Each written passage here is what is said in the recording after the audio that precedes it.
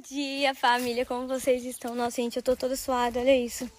Eu vim aqui pra roça, mas tá fazendo um sol pra cada um, entendeu? E aí eu tava gravando um vídeo com o cavalo. Só que assim, a égua é tão esperta, mas tão esperta, que ela simplesmente desamarrou o cabresto e saiu correndo pra baia dela. Olha aqui, de cabresto pendurado. Aí eu vim atrás, né? Vim buscar porque sem juiz nenhum.